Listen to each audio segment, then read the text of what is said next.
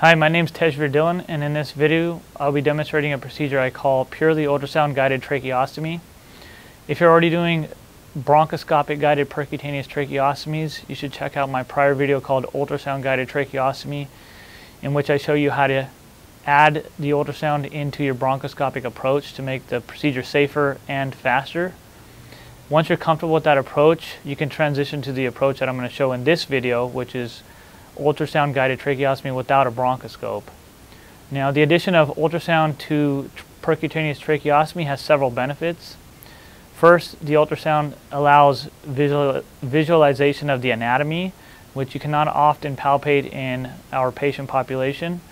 Um, the ultrasound shows you the cricoid as well as the tracheal rings very clearly. You can also see any vessels that are in the subcutaneous tissues which can decrease your risk of bleeding. This can be especially helpful in patients on dialysis with AV fistulas in their upper extremities who often have pulsatile vessels in the subcutaneous tissues of the neck. The addition of ultrasound also decreases the risk of hypoxia during the procedure since it makes the procedure faster and also limits or limits or eliminates the use of the bronchoscope. The bronchoscope uh, occupies part of the lumen of the endotracheal tube and decreases your ventilation during the procedure. So limiting that will also decrease your chance of hypoxia. The risk of premature extubation is also essentially zero with this approach since we are not moving the endotracheal tube until after the 14 French dilator is already in place.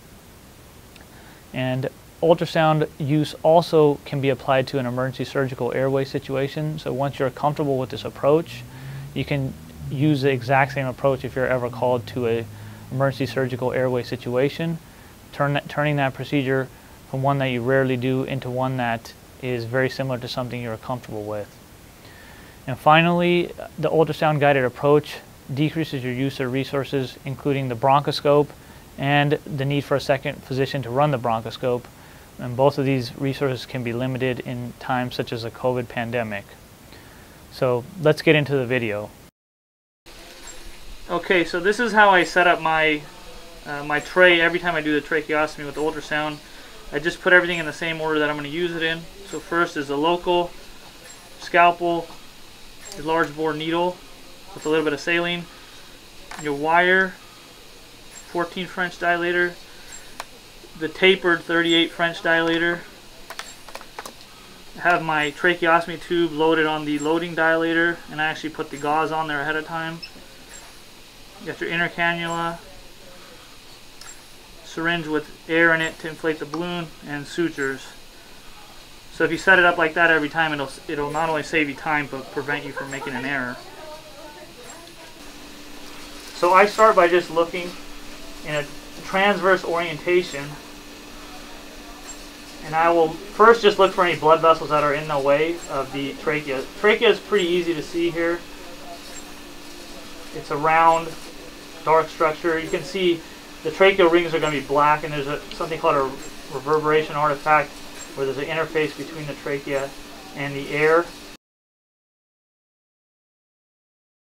So I'm just going to scroll up slowly.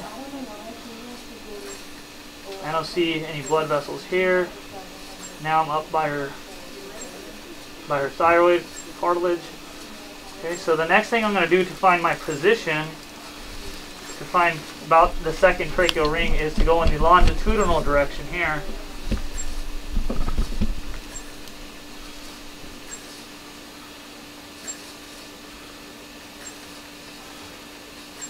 So here you'll see the black oval structure towards the right of the screen. That's your cricoid. That's essentially your landmark for this procedure. It's the easiest thing to see. And then just to the left of that you will see three smaller oval oval structures. Those are the tracheal rings. They're black. And they have a bright white line under. That's that that's that air uh, and trachea interface. So now that you know where you want to go, like I said, around just below the second tracheal ring, I'm going to go ahead and start by getting my local.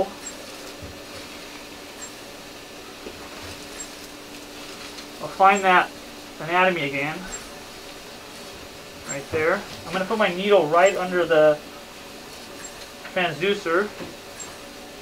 so I can get an idea of where that second tracheal ring is. So at the end of the screen here, right about here. The second tracheal ring, so my needle is right over that. So what I'm going to do is just numb up my skin right above the second tracheal ring. And that's where I'm going to make my skin incision. I'm going to come down essentially straight down with my large needle under ultrasound guidance.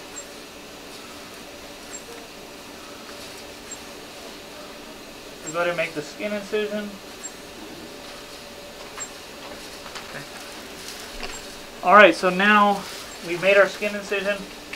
We're going to look at our neck in a transverse fashion and have our large bore needle ready. We're going to advance this under ultrasound guidance here. Let's just see where we are. You can see straight down, you can see a tracheal ring and the trachea right there. And I'm going to start poke. I'm going to have the respiratory therapist put down the cuff so we don't pop it. And now you can see my needle start to come in there. I'm going to make sure it's right in the center of the trachea. There it goes, right about there. I'm pushing right on it.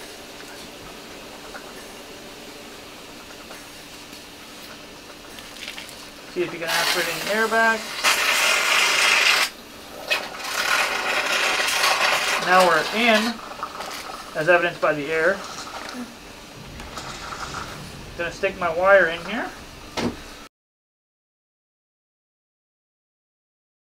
There's always a little bit of resistance when the wire hits the ET tube, but there shouldn't be a lot of resistance. The wire's in pretty far. So now, just like with the central line, you can look at the wire and see where it's going in with the ultrasound. You can see the wire going down right into the anterior figure wall. It's just a little bit to the side of midline, but it's going straight into there. And there's no blood vessels that you see right around it, so it should be okay to dilate. So at this point, if you needed to pause, you could actually put up the ET tube cuff and oxygenate the patient more. She's 100%, so we're going to just proceed with the 14 French dilator.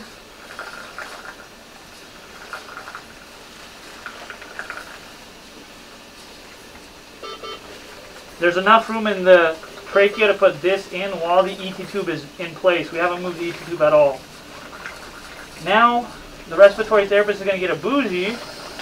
It's already marked at the 34 centimeter mark because the patient's endotracheal tube is 24 centimeters at the teeth. I always mark it 10 centimeters beyond where the endotracheal tube is at the teeth.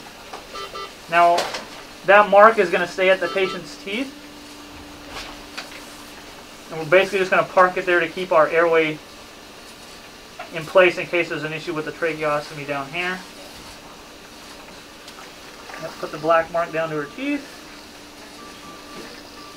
Okay, it's going to stay right there. Perfect. So now I'm going to get my dilator, the 38 French taper one. Now this is too large to fit in there with the ET tube in place. So I'm just going to put the tip in.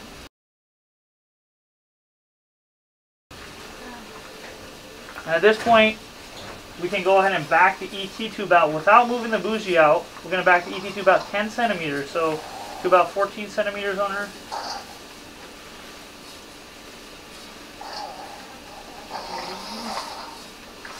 That, that's pretty good there. Okay, now I'm going to dilate, and it goes in real easy.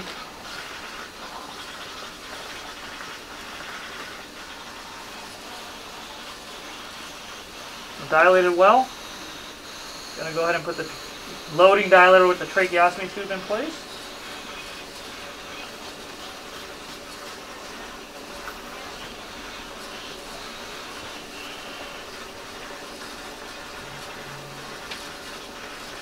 Okay, so that went in real easy.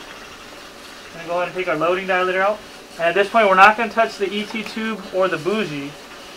We're going to inflate our balloon and go ahead and connect the ventilator here, right on the tracheostomy. Let's make sure we got good end tidal and good tidal volumes. I'll hold it in place. Let's look at our vent over there. We're good. We have good end tidal and good tidal volumes. End tidal is 15. End tidal's good, uh, 33. Tidal volumes are right where they should be. There's probably a little leak while the bougie's in place. There will always be a little leak. So everything looks good now. We will put the balloon down and take the bougie out. And the endotracheal tube all the way out at this point. End tidal's now 34. Okay, everything is out. We're going to go ahead and inflate the tracheostomy cuff.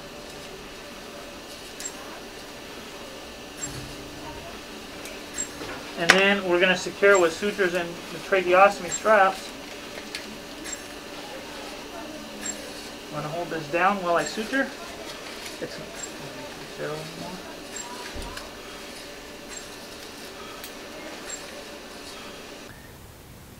I hope you enjoyed this video and found it helpful. Please share it with anyone that you think might benefit.